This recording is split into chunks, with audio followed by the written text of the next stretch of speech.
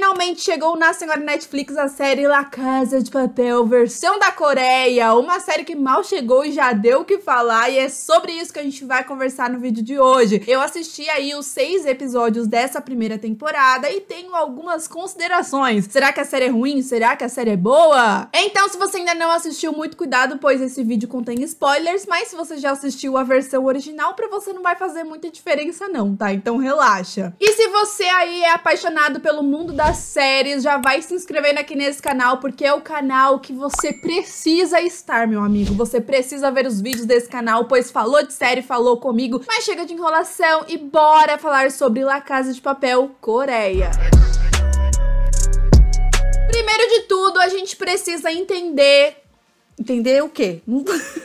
Primeiro de tudo, a gente tem que entender qual que é a proposta da série, né? Na verdade, eu acho que todas as vezes que a gente começa uma série, a gente tem que entender o que eles queriam com determinada série. E La Casa de Papel, basicamente, é um remake da série original, porém agora na versão da Coreia. E honestamente, eu acho que esse foi o maior erro de La Casa de Papel Coreia, porque a série tinha tudo para ser absolutamente incrível, mas eles resolveram fazer um remake. Mas na minha opinião, com completamente pessoal, tá? Eu acho que eles deveriam ter feito um reboot e não um remake. E aí você me pergunta, Aline, qual que é a diferença? Remake basicamente é uma cópia mesmo da produção original de filme, de série que seja, tá? Isso é bem comum, não é de hoje, não foi apenas com La Casa de Papel que aconteceu o remake, não. Inclusive, existem alguns filmes que mais pra frente ganharam remakes em versão de série. E basicamente o remake, ele tem que ser igual mesmo à versão original. Então vamos se dizer que quanto mais parecido,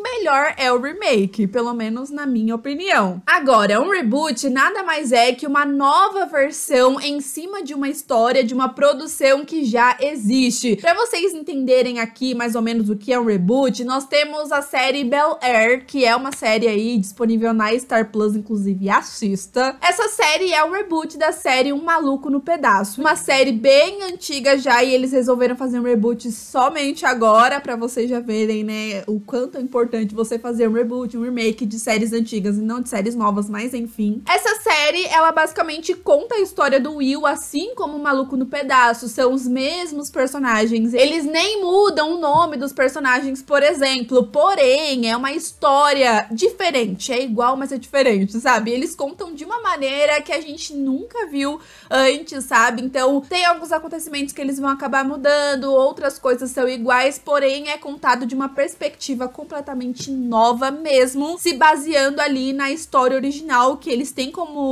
história base, mas o roteiro, por exemplo, não vai ser idêntico. Mas como eu disse para vocês, o reboot, o remake é uma coisa assim muito comum há muito tempo, só que talvez você aí não conheça, talvez você já tenha inclusive assistido uma série que é um remake de alguma outra série e você nem fazia ideia. É bem comum alguns países pegarem aí uma série de muito sucesso e acabar fazendo as suas versões. Por exemplo, nós temos Gossip Girl e não estou falando da Gossip Girl lá da HBO Max não, mas lá em 2013 o México resolveu fazer a sua versão de Gossip Girl intitulado de Gossip Girl Acapulco. Isso acontece até mesmo com novelas, né? Nós temos Rebelde do México e temos Rebelde Brasil que eles fizeram depois. Temos a série Julie and the Phantoms que também foi baseada em uma série, uma novela, é uma série, né? Brasileira. E agora talvez alguns de vocês caiam da cadeira, mas por exemplo, a série The Good Doctor, que é uma série médica assim de muito sucesso hoje em dia, ela é na verdade um remake de uma série coreana. Sim, senhor. Inclusive esse ano também saiu a série Worry the Virgin, não sei se é assim que pronuncia, me desculpa se eu falei errado, mas enfim. Essa série específica é uma série coreana que é um remake da série Jane the Virgin, que na verdade é uma série baseada em uma novela venezuelana chamada Juana la Virgem. Só para vocês terem noção o que é essa coisa, né? Né? Vai lá, o cara cria a série e chega uma hora que você nem sabe mais qual que é a série original. Um se baseia e faz remake, faz reboot, faz spin-off, faz isso e faz aquilo. Meu Deus, uma confusão. Acontece, né, queridos, que La Casa de Papel é uma série que foi, assim, muito conhecida, uma série de um puta sucesso. Então, obviamente, que a gente vai falar mais. Por exemplo,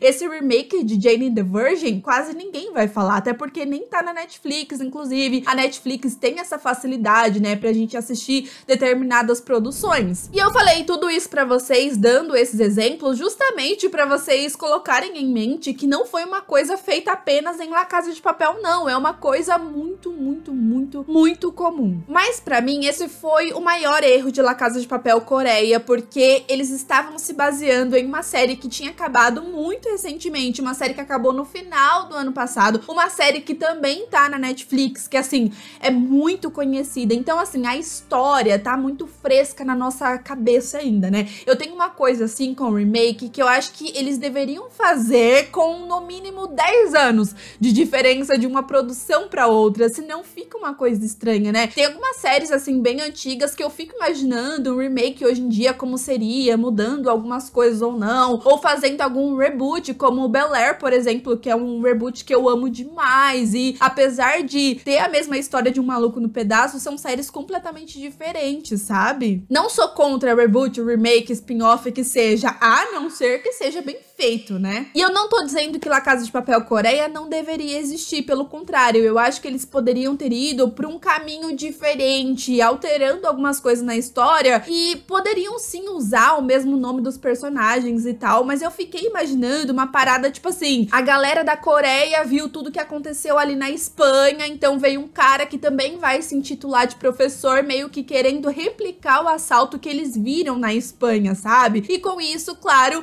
reformulando todo o assalto para algo assim que é deles, sabe? Uma coisa mais única. Ou eles percebendo em determinado momento que se eles seguirem ali o caminho da galera da Espanha, eles iam se lascar. Tipo dos detetives aí no meio do assalto falar assim: peraí, eu já vi isso em algum lugar. Nossa, eles estão fazendo igual a galera ali da Espanha, então vamos pegar eles e tal. E ter uma coisa diferente, não uma cópia, sabe? Um remake, sabe? Porque, gente, La Casa de Papel é uma série que eu gosto muito mas muito mesmo. Porém, vamos combinar que é uma série assim que a história é muito boa e o que chama a atenção são as reviravoltas, são as surpresas que a gente tem aí na história. Eu lembro o sentimento de assistir La Casa de Papel pela primeira vez, a gente ficar nessa agonia, nessa ansiedade, sem saber se o professor vai ser pego, mano. Era uma coisa assim que meu coração batia forte, eu ficava maluca. Por exemplo, a gente tem essa cena do professor fingindo ser um mendigo para poder escapar e foi uma cena cena tão. Gente, eu fiquei tão maluca a primeira vez que eu assisti aquilo que eu lembro desse sentimento. Nessa versão da Coreia, a gente tem uma cena assim bem parecida, a gente também tem ele ali no ferro velho, mas eles acabaram mudando aí esse momento. Na verdade, a gente acaba vendo o professor mesmo pegando o carro e fugindo, e a polícia indo atrás dele com o carro, depois ele bota o carro ali no lago, o negócio afoga e ele consegue sair pela água. É diferente, porém o contexto ali é um pouquinho parecido porém, pelo fato da série ter seguido para esse caminho de remake e esse caminho igual, são momentos que não me deixava aflita, que não me deixava ansiosa, porque eu sabia que o professor ia sair daquela, sabe? E La Casa de Papel é uma série que o que é legal é o quesito surpresa. Então vamos combinar, se você assistir a La Casa de Papel original mais uma vez, por mais que você ainda goste, por mais que você ainda tenha essa ansiedade de ai meu Deus, o que vai acontecer, não vai ser o mesmo sentimento que você teve lá na primeira vez que você assistiu. E eu digo isso porque eu já assisti a versão original mais de uma vez e por mais que eu ainda goste, não é mesmo. Gente, não é o mesmo sentimento que a primeira vez, que é simplesmente única, porque eu já sei tudo o que vai acontecer depois. Então, por mais que eu goste, não vai ser a mesma coisa. E foi esse sentimento que eu tive com essa La Casa de Papel da Coreia. Eu achei interessante, eu achei legal, porque, mano, ela é igual à série original. E se eu gosto da série original, eu não consigo falar que essa versão é ruim porque ela tá igual ao original. Então a única questão para mim é que não precisava ser igual, entendeu? Esse quesito surpresa não tem. Por exemplo, quando Berlim vai e manda matar Estocolmo deles, né? A Mônica deles. Eu fiquei tipo, o Denver vai lá, vai atirar na perna dela, eles vão viver um romance porque tá tudo igual. Então não tem mais esse elemento surpresa, essa coisa de meu Deus, e agora? Eu fiquei imaginando sei lá, e se eles matassem o professor e aí o pessoal de lá dentro ficasse perdido? Ou sei lá, nessa versão, o professor se inspirando lá na Espanha falar assim: ah, o outro cara era muito fraco, ele era muito, sei lá, covarde. Eu vou entrar na Casa da Moeda também e vou trabalhar de lá de dentro. Seria diferente. Ou quem sabe eles fazerem alguma reviravolta aí no meio da história da Raquel deles, né, a detetive, ela estar do lado dos assaltantes e a gente também não saber disso, sabe? A gente já começar a série com ela do lado do professor e não fazendo todo esse rolê dela ficar do lado dele depois, coisa que eu acho que também vai acontecer nessa versão, assim como na anterior. Então, eles poderiam sim ter trabalhado nos mesmos elementos, porém de uma maneira diferente, tá? São só exemplos, tá, gente? Não tô falando que eles têm que fazer determinadas coisas, não, mas eu fiquei chocada o quanto eles são bons em fazer remake, porque realmente fizeram igual, sabe? Então, tipo, se tiver algum remake de uma série antiga que os coreanos quiserem fazer, eu vou assistir, porque eu falei, olha, esses caras são bons de copiar o bagulho, de fazer um remake de qualidade. O problema é o momento. Se tivesse esse remake daqui 10, 15 anos de La Casa de Papel, seria mais interessante do que agora, porque a gente terminou a série e não tem nenhum ano. É tão louco que até os mínimos detalhes eles conseguiram replicar, mas ainda assim eu vejo que eles trouxeram mais essa vibe coreana mesmo. Mas eu tava reparando em todos os detalhes, por exemplo, até a Raquel. Gente, eu vou chamar de Raquel, desculpa, porque para mim é a mesma coisa. Ela conversando com o professor ali em telefone e tal, e sempre amarrando o cabelo. Era uma cena específica que até isso eles trouxeram, sabe? A relação da Tóquio com o professor, dela querer fazer as coisas ali junto com ele e tal. Todos os romances, inclusive, são os mesmos, né? O Denver com a Mônica, a Tóquio com o Rio. E se eles tivessem mudado, sei lá, a Tóquio ficar com a Nairobi nessa versão. Seria diferente, sabe? É que, tipo assim, ó, quem não assistiu a versão original, eu recomendo, porque é uma boa série. Mas pra quem assistiu, eu já não recomendo, porque é melhor você assistir a outra versão, entendeu? A não ser que você seja uma pessoa curiosa como eu e quer ver como que vai ser em uma nova versão, com os personagens com outro rosto. Mas não vai ser nenhuma novidade. Mas para mim, La Casa de Papel Coreia não deixa a desejar na produção, pelo contrário, a produção tá muito boa. Os personagens, eles estão excelentes, tá? Tipo, o Berlim, mano, eles escolheram a pessoa certa para fazer o Berlim, simplesmente icônico, eu amei. Então eles não deixaram a desejar em atuação também, estão incríveis. Confesso que o Denver é meu personagem favorito em qualquer versão, é impressionante o quanto o Denver é um personagem carismático em qualquer versão. Fiquei simplesmente apaixonada. O Denver é um gostoso nessa versão, não que na outra não seja, mas nessa versão, meu Deus do céu, eu pegava o professor, eu pegava o Denver, eu pegava o Berlim, eu pegava o Rio. Meu Deus do céu, o Rio dessa versão, gente. Gente! Mas aí, querendo ou não, para quem é fã da versão original, sempre vai rolar comparação, porque eles seguiram a mesma história, então não tem como não comparar. Se eles tivessem feito diferente, aí sim eu ia falar, galera, não vamos comparar. Mas por gostar muito do Denver, por exemplo, aquela risada icônica que ele tinha faz falta, porque tinha esse alívio cômico. Inclusive, eu acho que essa versão eles poderiam ter seguido um caminho diferente, um, um caminho mais dark, mais sanguinário, sei lá, dos assaltantes não ter problema de matar as pessoas seria mais uma coisa diferente, seria mais um ponto diferente deles realmente matar as pessoas lá dentro, ou se realmente o Berlim tivesse matado a Estocolmo e aí criado uma guerra ali entre eles porque o Berlim ia ficar puto com Denver e o Denver ia ficar puto com Berlim, seriam diferenças, mas eles seguiram um negócio igualzinho, né? Porque é remake, não tinha que ser remake. Eu tô falando isso o vídeo inteiro, tô até repetitiva, desculpa. Porém, algumas coisas são engraçadas, né? Porque isso também vai de carisma. Eu acho que todos eles são bem carismáticos, mas tem alguns pontos. A Nairobi, na versão original, ela é o amor da minha vida. Rainha perfeita, incrível. Mas nessa versão da Coreia, por favor, me perdoa, tá? Eu caguei pra Nairobi, gente. É fofo, é legal, mas não foi minha favorita nessa versão. Mas na outra ela é. Já a Tóquio, eu gosto nas duas versões, devo admitir, né? Eu sei que a galera não gosta muito da Tóquio lá na versão original. Eu sempre gostei dela, mas nessa versão eu gostei mais ainda. Eu acho, não sei, eu gostei igual, mas eu gosto mais da Tóquio, dessa versão, do que da Nairobi. Coisa que na outra versão eu gosto mais da Nairobi do que da Tóquio.